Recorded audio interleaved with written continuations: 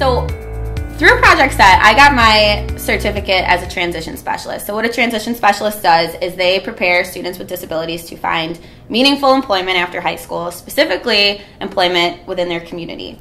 So, for students with intellectual disabilities, a lot of times they are placed in a sheltered work program where they'll work doing like assembly tasks in a warehouse. They're not included alongside the general population, they're segregated and kept away.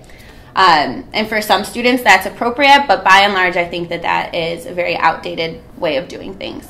Um, so, what I want to do with that transition specialist cert- certification, and I'm currently getting one in multiple disabilities, um, is prepare my students and prepare the community to gainfully employ them when they're done with me in high school. So, ultimately, what I would like to do is start a transition program here at TF North.